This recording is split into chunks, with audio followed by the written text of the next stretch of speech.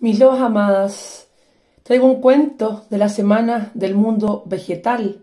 Estamos viviendo un tiempo adviento maravilloso, pausa a pausa, minuto a minuto, tomándose respiración importante para que también podamos sostenernos cada una desde la medicina del cuento.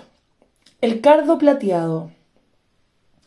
Cuando Dios creó las flores, les preguntó a cada una, ¿cómo te vamos a vestir?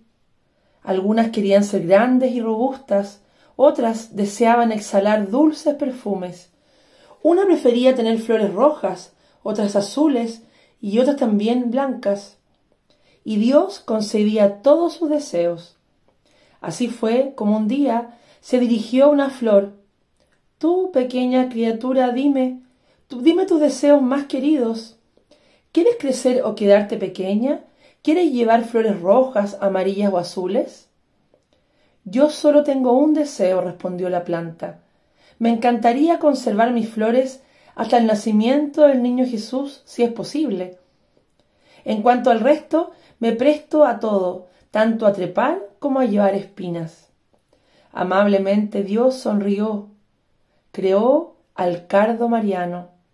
Este cardo crece en el suelo, sus hojas están llenas de espinas, pero sus flores brillan como estrellas de plata que se abren justo en Navidad para saludar al niño Jesús.